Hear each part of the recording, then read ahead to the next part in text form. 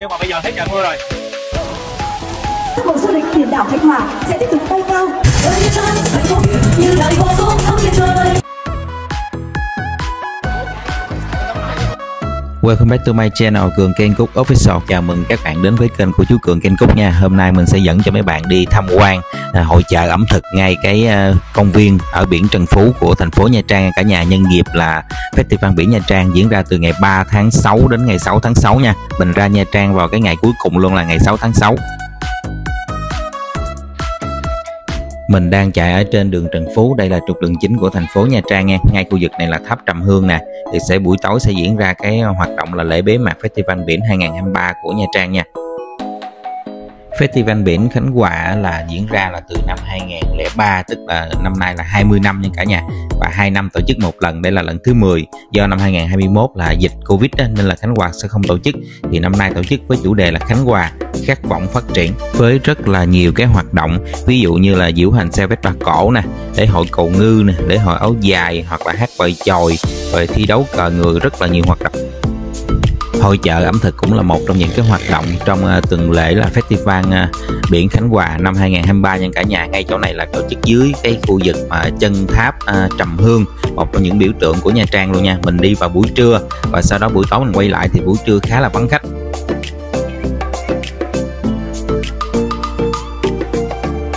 Mình thấy ở trong lễ hội này có khoảng hơn 100 cái gian hàng và chủ đề năm nay là khơi nguồn tinh hoa ẩm thực biển đây cũng được xem là một hoạt động nhằm ờ, thúc đẩy quảng bá về ẩm thực nè, về văn hóa, về thương mại, à, kết nối hợp tác giữa các đơn vị mà làm dịch vụ du lịch, à, nhu cầu tham quan vui chơi giải trí của người dân.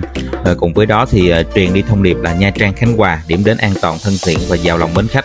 À, đến với đây thì du khách trong và ngoài nước sẽ thấy được là Festival Biển Khánh Hòa là một trong những cái festival mà được mong chờ nhất của Việt Nam trong khoảng thời gian gần đây.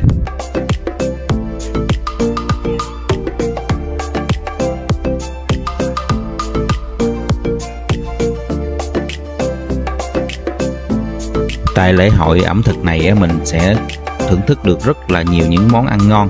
À, nền ẩm thực ba miền như là xôi phú thượng nè, phở lê gia nè, hoặc là phở chua lạng sơn nè, hoặc là ẩm thực miền Trung với món là súp lương Nghệ An nè, rồi mì Quảng, bún bò Quế nem nướng Nha Trang, và một số cái món mà ở miền Nam của mình thì mình sẽ thấy ở trong đây. Ví dụ như là bún nước lèo Sóc Trăng nè, hoặc là ẩm thực của Thái Lan nè, rất là nhiều món để mình lựa chọn luôn nha.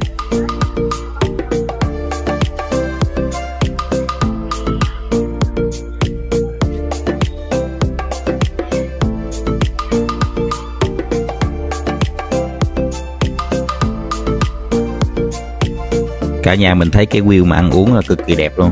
Không có cái nơi nào mà có view ăn uống đẹp như vậy. View biển luôn nha. Mình đi cũng rất là nhiều lễ hội ẩm thực. Ví dụ như là ở Cần Thơ nè, hoặc ở Sài Gòn của mình tổ chức rất là nhiều lễ hội ẩm thực. Tuy nhiên là mình thấy giá ở lễ hội ẩm thực của Nha Trang, Khánh Hòa cũng tương đối là cao so với mặt bằng chung của những cái hội chợ ẩm thực khác. Ví dụ như là một ly nước đi, ở đây giá bình quân là khoảng là 30 đến 35 ngàn. Nhưng mà ở trong Sài Gòn hoặc là Cần Thơ là tổ chức đó những cái ly nước mà uống bình thường thôi, có topping đầu này nọ thì tầm khoảng là 20 đến 25 ngàn là cao rồi, chứ không có cái giá cao như vậy nha. Đây cả nhà thấy được cái những cái ổ bánh mì không? Đây là bánh mì thiệt nha chứ không phải là bánh mì giả nha. Hồi trước mình đi lấy hộp bánh mì á là một số cái mô hình là làm bánh mì giả nhưng mà đây hoàn toàn là bánh mì thiệt nha. Nên là buổi tối á, trời mưa sau đó là người ta dọn dẹp không có kịp và những cái ổ bánh mì nó bị gãy bị hư rất là uổng luôn cả nhà. Đây mình thấy có một cái gian hàng bán món rất là lạ luôn là bánh canh từ bọc chuối xanh. À, 60 à, ngàn đồng một tô. Thì nguyên liệu là từ cái chuối xanh mà làm ra bột cả nhà ăn cũng rất là lạ miệng luôn nha đây đây là cái hội chợ ẩm thực mà buổi tối nha cả nhà. Hồi trưa mình quay thì nó không có đông nhưng mà buổi tối thì rất là đông luôn nha. Đây. hôm nay là bữa cuối rồi đó. Cô rất là đông luôn. Chứ buổi trưa mình đi là vắng que à. Đây bán xiên que nè 20 ngàn à. 50 ngàn phần chân gà tết thái này Ôi rất là đông ba hai một bắt đầu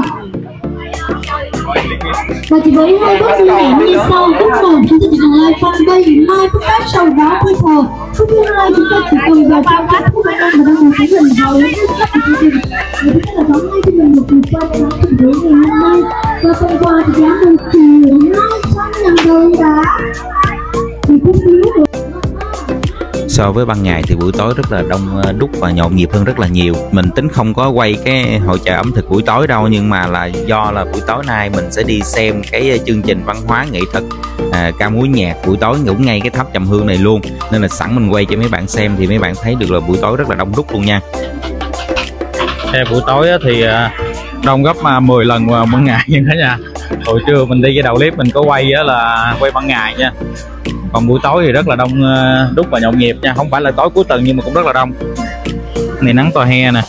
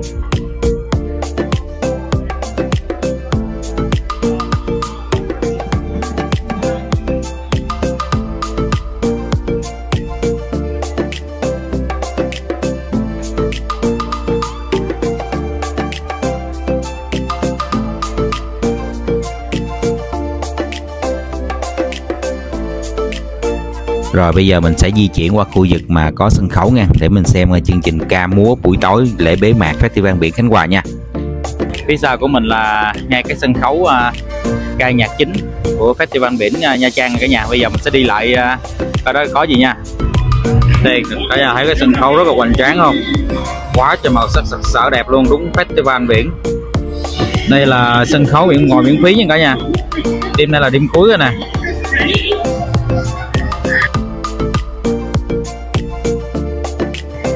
Ở đây là được à, bảo vệ an ninh trật tự rất là nghiêm ngặt nha cả nhà? Nhưng mà mình cũng phải giữ à, tư trang tiền bạc nha. Mới được tặng cái quạt này cả nhà. Đi vòng vòng được tặng cái quạt. Hình như là 7 giờ sẽ bắt đầu nhưng mà bây giờ thấy trời mưa rồi. Đây trời đang mưa rồi mọi người uh, di chuyển đi uh, ra khỏi khán đài rồi nè cả nhà. Đêm cuối trời mưa rồi rồi tự nhiên trời mưa rồi nè cả nhà thấy không mưa nó rớt hột xuống nè bây giờ mọi người đang tìm chỗ trú mưa rồi Mưa khá là lớn luôn cả nhà.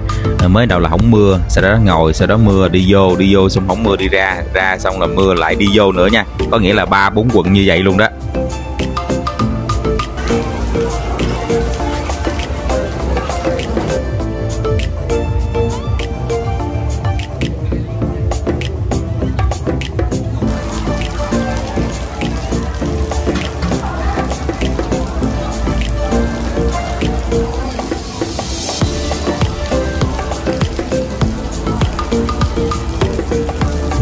Cuối cùng là cũng không mưa được một à, khoảng thời gian tầm khoảng là 20 phút á. Thì à, chương trình diễn ra, sau đó là lại mưa, sau đó mình đi về luôn chứ mình không có ở lại nữa. Đây là cái lúc mà khai mạc và trời không có mưa nè cả nhà. Nói không mưa cũng không đúng, có nghĩa là mưa mà mưa ít thôi. Nhưng mà ngồi chút xíu nữa là tầm khoảng 20 đến 30 phút sau là mưa cũng khá là lớn và bắt đầu là mình đã đi về, mình không có ở lại nữa.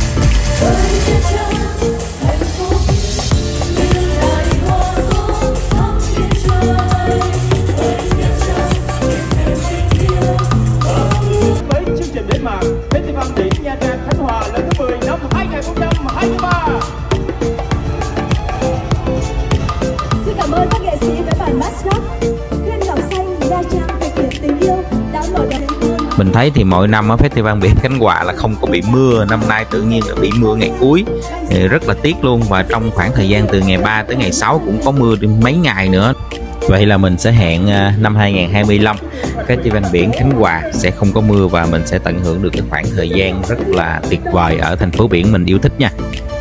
Cả nhà mình xem video nhớ subscribe kênh của mình để mình có thêm động lực làm nhiều video mới nữa nha.